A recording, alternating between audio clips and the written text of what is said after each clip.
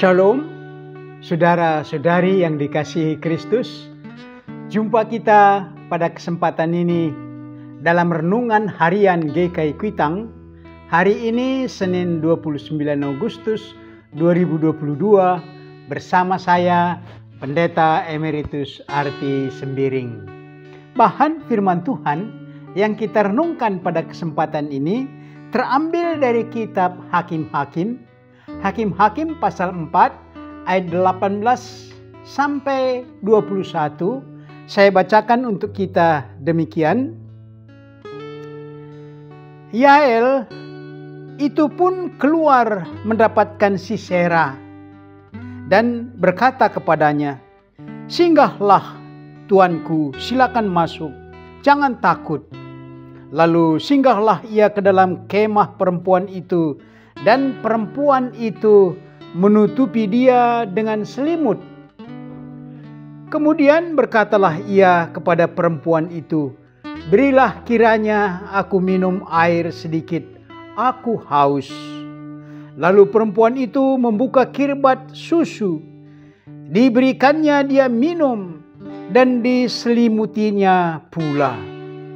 Lagi katanya kepada perempuan itu, berdirilah di depan pintu kemah, dan apabila datang orang bertanya, "Ada orang di sini?" maka jawablah, "Tidak ada." Tetapi Yael, istri Heber, mengambil patok kemah. Diambilnya pula palu, mendekatinya diam-diam, lalu dilantakkannya patok itu masuk ke dalam pelipisnya sampai tembus ke tanah, sebab ia telah tidur nyenyak karena lelahnya, maka matilah orang itu.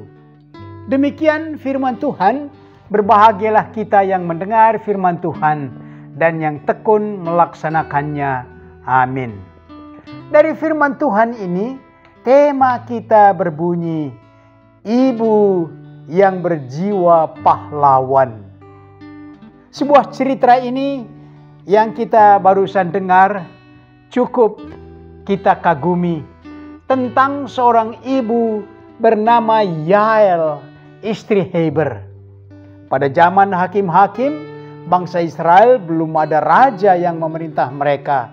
Tuhanlah raja mereka yang selalu hadir bila mereka berseru-seru dalam kesesakan oleh penindasan bangsa lain, bangsa tetangga mereka, bangsa Kanaan, tetangga mereka dengan rajanya bernama Yabin menindas bangsa Israel dalam bentuk perampokan, penjarahan panen gandum di ladang, di serobot bangsa ini sehingga umat Israel sangat menderita. Raja Yabin lebih daripada itu, hendak menghancurkan bangsa Israel. Mereka mau menjarah rumah-rumah Israel. Rakyatnya akan ditawan menjadi budak. Pasukan Yabin yang dipimpin oleh panglima bernama Sisera telah menggerakkan pasukannya dengan 900 kereta besi dengan kuda yang tangkas mereka akan menyerang pasukan Israel di lembah Gunung Tabor.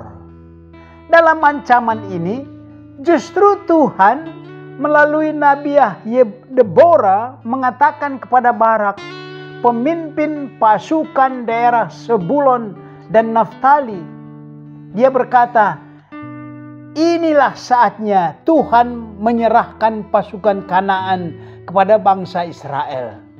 Deborah mengatakan supaya Barak siapkan pasukan untuk menghadapi Sisera panglima itu. Tetapi Barak berkata kepada Deborah, "Baik, jika engkau turut maju, aku pun maju. Tetapi jika engkau tidak turut maju, aku pun tidak maju." Walaupun Deborah sudah menjelaskan bahwa inilah saatnya Tuhan menyerahkan pasukan Kanaan kepada Israel. Namun Barak hilang keberaniannya. Sehingga Deborah menjawab, "Baik, aku turut." Tetapi engkau tidak mendapat kehormatan dalam perjalanan ini, sebab Tuhan akan menyerahkan Panglima Sisera ke dalam tangan seorang perempuan. Ini yang dikatakan oleh Nabiah Deborah. Saudara-saudari, itulah nubuat Nabiah Deborah. Pasukan Kanaan dalam peperangan itu mengalami kekalahan total karena Tuhan berperang melawan mereka di pihak Israel. Panglima mereka yang bernama Sisera melarikan diri dengan jalan kaki dan dikejar oleh Barak. Akhirnya Sisera tiba di ladang Heber dan Yael istrinya melihat Sisera melarikan diri dan memanggil panglima ini, "Singgahlah tuanku, silakan masuk, jangan takut." Dalam keadaan lelah, Sisera berbaring dan diselimuti Yael ini. Dia memberi minum, akhirnya dia tertidur pulas. Nas renungan kita yang berkata, dalam keadaan lelah dan tertidur itu, Yael mengambil patok paku panjang untuk kemah dan dia mengambil palu maka ditancapkannya patok itu memukulnya dengan palu kena pelipis Sisera tembus sampai ke tanah maka Sisera tewas dalam tangan Yael, seorang ibu yang berjiwa pahlawan. Pada awalnya, Yael berbicara manis, tetapi dia hendak menegakkan perdamaian bangsa Israel. Itulah yang dilakukannya melihat keserakahan bangsa Israel, bangsa Kanaan yang menindas Israel. Yael mengangkat kebenaran yang membawa damai. Barak melihat Panglima Sisera pasukan Kanaan ini ternyata telah tewas di kaki Yael, seorang ibu yang berjiwa pahlawan yang menegakkan damai dengan kebenaran, maka amanlah negeri Israel. Barak terus mengejar Sisera namun dia tertinggal beberapa langkah oleh Yael. Barak menemukan Panglima Sisera telah tewas. Sehingga yang mendapat kehormatan ialah Yael istri Heber.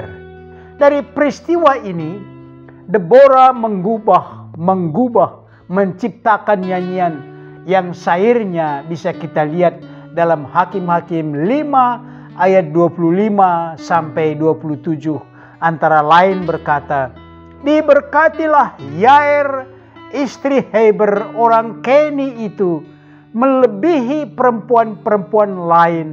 Dipukulnya Sisera, dihancurkannya kepalanya. Dekat kaki orang itu rebah dan tewas dia.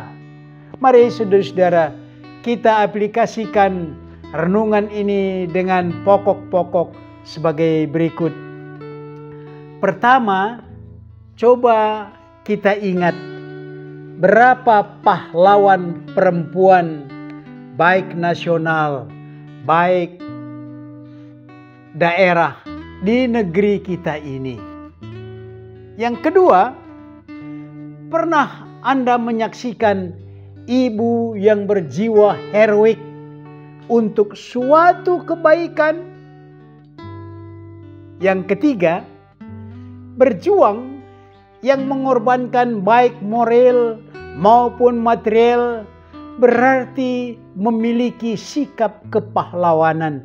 Apakah Anda pernah melakukannya? Mari berdoa.